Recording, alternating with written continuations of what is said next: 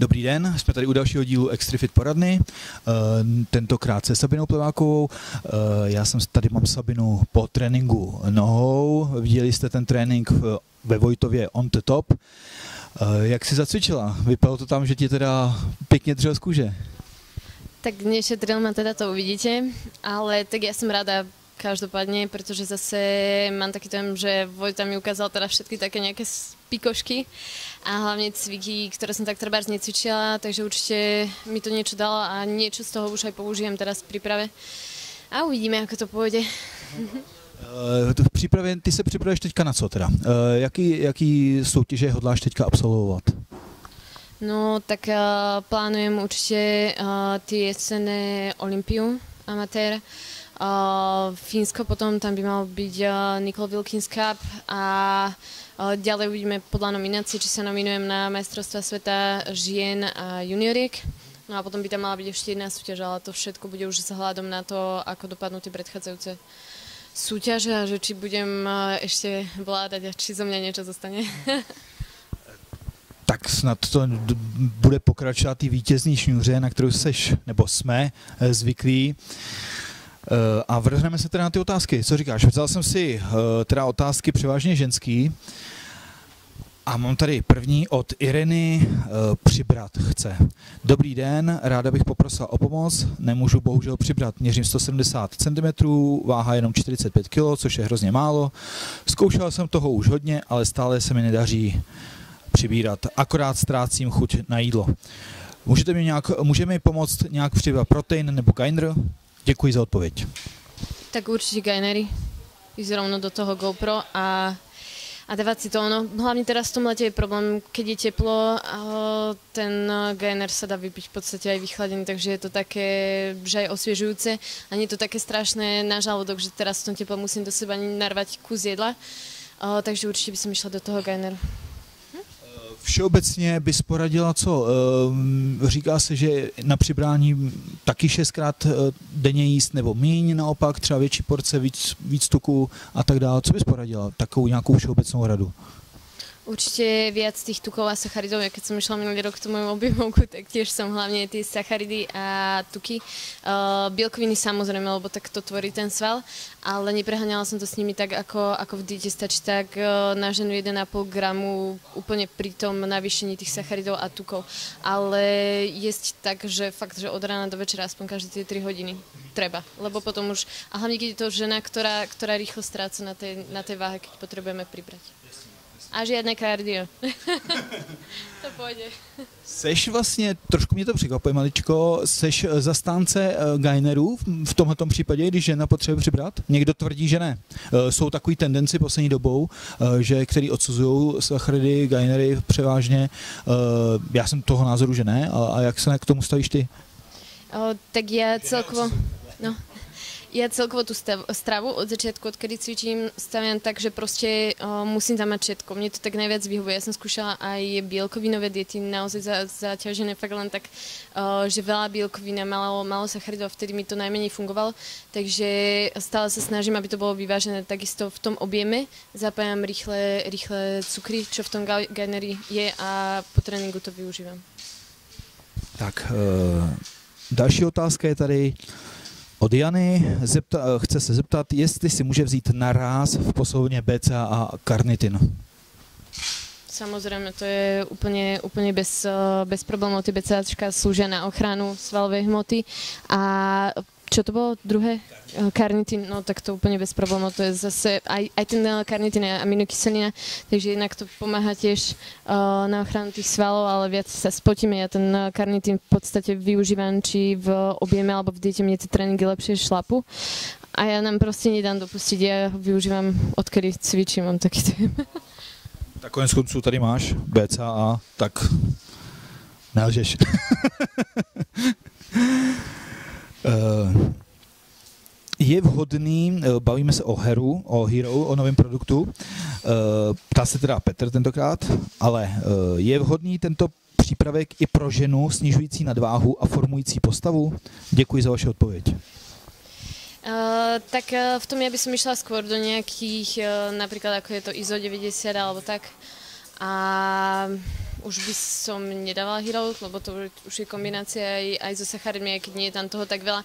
Ale rozhodne ja som taký zastanca zase toho, že keď uh, idem znižovať, tak sa snažím a v Extrifite je fakt uh, možnosť vybrať si tie produkty, tak by som volila určite ISO 90. Ještě bych uh, upozornil na teďka nové hydro, na hydroizolát, kde je vlastně snad ještě nižší poměr tuku a, a sacharidů a lepší stravitelnost bílkovin. Bikini Fitness, tvoje parketa.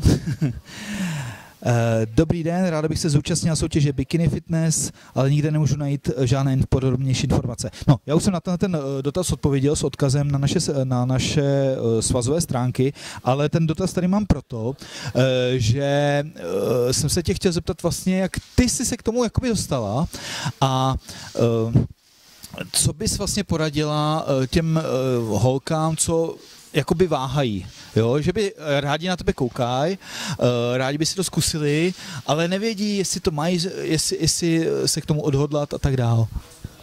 Uh, tak ja by som určite v prvom rade vyhľadala nejakého trénera. Uh, treba sa spýtať fakt uh, odborníka, eh, ktorý už niekoho pripravoval, eh, či na to mám, či, či, či to nie je zbytočné, či sú tam tie predpoklady, treba pozrieť tie proporcie a naozaj sa nenahnevať na niekoho, ak vám povie, že nie.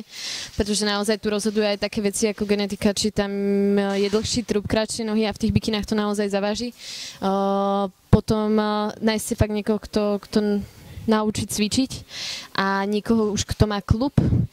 U nás tie kluby patria pod SAX, Slovenskou asociáciu kulturistiky a fitness. U vás je to tak, neviem, ale treba proste tú svoju asociáciu si nájsť uh, a tam už oni by sa mali postarať o, o to, aby vás zaregistrovali do nejakého klubu. No a makať. Nič iné. Nabrání svalové hmoty pro ženu. Dobrý den, eh, potřeba bych nabrat svalovou hmotu, jelikož jsem po operaci v nemocnici a dovolili mi pokračovat v závodním tenisu. Potřeboval bych nabrat svalovou hmotu a mít správnou kondici, jelikož jsem nehrál a nesportovala skoro dva roky. Myslím si, no to je o jídelníčku, eh, Vlastně to je takový neurčitý dotaz. to je, ale uh, dobře, no tak co bychom poradili ženě, která má po operaci nějaký rekonvalescenční trénink, eh, kolikrát byste týdně cvičila třeba, eh, jestli je dobrý cvičit full body nebo rozdělit rovnou partie a tak dále. Záleží aj, čoho to bola operácia. Treba, ak to bola vršku tela, je možné, že ešte tam ten vršok nebude moc tak zaťažovať, takže skôr uh, začať spodkom taký, taký silvejší ten vrch opatrne. Ak už teda doktori povolili vôbec celkovo, ja by som začala určite tak celé telo zľahka cvičiť. Dvakrát týždenne, už neviem, či už tam uh, do toho zahrňa sa aj ten tenis. Ak už uh, začneme aj s tenisom, ja by som to brala kľudne už ako kardio, nepridávala by som vôbec kardio po tréningu, vyslovene tá posil, posilňa na to, aby tie svaly sa spevnili a aby sme tú svalovú hmotu nabrali. Čiže málo opakovaní, moc to nedreť a fakt celé telo ísť. Můžeme tohleto trošku uh, apelovat na ty lidi, co se ptají, využít tohle vzorového dotazu, uh, kdy ty určitě máš takový živý Facebook, uh, máš tam spoustu fanoušků, určitě ty dotazy dostáváš a někdy jsou takový jakoby dobrý den, co mám dělat, abych přibral, nebo to ještě je dobrý, ale dobrý den, chci začít cvičit, co mám dělat, jo. E, jak se stavíš takovým dotazům? Odpovídáš na to, snažíš se vypátrat nějakým způsobem, nebo se řekneš, co vlastně na to říct? Asi skôr to posledné, tú poslednú variantu, ako nie to tým, že by som nechcela odpísať, ale naozaj tých dotazov tam je veľa. A ja sa snažím odpovedať väčšinou už na také, uh, keď vidím, že tí ľudia už vedia, o čo sa zaujímajú. A tak sa snažím im pomôcť, lebo zase keď sa ma niekto spýtal na niečo uh, proste tak uh, z luftu, že ešte si nič o tom nepričítal a tých informácií je ozaj veľa, tak mi to príde také, že proste chce nejakú informáciu kvázi len zadarmo, rýchlo sa k nej dostať, ale o tom to nie, keď sa ma niekto spýta, spýta už tú konkrétnu tému, si prešiel trochu a chce poradiť, lebo si nevie vybrať medzi variantou A a B, tak veľmi rada odpoviem a myslím si, že, že už e, máme o čom, o čom diskutovať. Len darmo hovoriť niekomu niečo, keď ešte, ešte o tom vôbec uh, nič nevie. Teraz sa začneme baviť o bielkovinách, o sacharidoch a väčšinou tí ľudia teraz vôbec nevedia, o čom to je, takže určite odporúčanie, keď chcem niečo začať robiť, tak trošku sa do toho nakúknuť a keď už sa tomu rozumiem, pýtať sa na konkrétne, konkrétne veci. Už aby sa mohla viesť nejaká diskusia o tom. Teď mě napadlo taková typická, typická otázka, co mám jíst, abych zubla. tak, takže asi takovýhle seznam obrovský. Uh, proteinové tyčinky, výživa. Eh, k čemu slouží a kdy se hodí brát proteinové tyčinky? Kámoš mi říkala, kámoš mi říkal, kámoš mi říkal, že je dobrý Kámoš mi říkal, že, do, že jsou dobré si je vzít vždy po ránu a hned po tréninku, že prý dodají svalům živiny. Poradíte? Tak treba, že by som ich ráno vôbec uh, nezaraďovala. To len tak výnimočne, keď som treba niekde na ceste a že naozaj som ráno nestihla nič, že mám ju po ruke, tak si ju dám. Ale uh, ráno naozaj takú komplexnú stravu, skôr keď už uh, doplnky, tak dám proteín, nejaké tie sacharidy k tomu, aby naozaj ten sval po tej noci dostal hneď nejaké tie živiny. Takže vhodný je ten proteín a dať si treba, neviem, nejaké usené vločky alebo niečo, nech tá energia sa ďalej uvoľňuje a mm, plus sa tam môžu dať nejaké aminokyseliny, glutamín alebo BCčka, ale čo sa týka tých proteínových tyčiniek, tak skôr také ako na desiatu, na svačinu, keď sme niekde na desiatach, hej, tak a hlavne teraz to, že, že obsahujú cukor, aj to treba rozdielovať, že keď sa snažím schudnúť, tak si ju teraz nedám, lebo obsahuje cukor, či dám si to zloženie, ale inak v objeme bežne, ale fakt skôr tak uh, na tú desiatu a tam treba dávať pozor, že tam je aj ten tuk, ktorý potom uh, brzdí to uvoľňovanie, takže ju nebudem dávať treba ani po tréninku, čo tiež nie je vhodné. Je to rozhodně vhodný do objemu. Ale vhodná, vhodný, vhodný doplněk to je. Mám tady závěrečnou otázku, kterou jsem si bral schválně pro tebe, protože vím, že ty jsi taková konzumentka Helgelu a týká se právě Helgelu. Dobrý den, eh, mohu používat Helgel v přípravě na sezonu, jsem momentálně v plné přípravě na bikini fitness, Helgel miluji, ale trenérka z Polska mi radí ho vysadit, že se mi zvýší kortizol a poškodím svaly a uložím tuky. Mám prý zkusit, zkusit napalm od FA Nutrition. Poradíte mi někdo? Takže obidve tieto veci sú pre tréningovky. Kortizol sa tým určite nezvyšuje, pretože kortizol je stresový hormón, nemá to s tým nič spoločné. Vždycky, keď nám aj niečo tréner povie, tak treba si to pozrieť eh, na internete, čo sa, čo sa, čo za to týka. Ja Healthgel používam normálne aj e, v príprave e, na súťaže. Vysadzam ho tak možno dva týždne, tri pred súťažou, kedy vysadzam aj kreatín, keďže Healthgel obsahuje aj kreatín. Len kvôli tomu, aby to nezadržiavalo vodu, ale s tukom ani takéto niečo to nemá spoločné. Nahradzam ho vtedy Actinoxom, ktorý mi tiež super šlápe a je to úplne super, ale asi len toľko k tomu. Tak to jsem rád, že jsi tady odvrátila tu polskou sabotáž. Eh, já ti poděkuji za tyhle ty otázky, za tyhle ty odpovědi, teda spíš. A uh, budeme se těšit na tu tvoji účast na Olympii Amatér, uh, která bude vlastně součástí uh, sou, nebo respektive bude součástí toho velkého víkendu, který nás čeká v Praze. A jak se těšíš na tu soutěž? Těšíš se na tu, na české fanoušky, který tě už trošku díky Extrafitu berou za svoji, na tu podporu, loni za tebou přišel spoustu lidí se vyfotit a tak dál?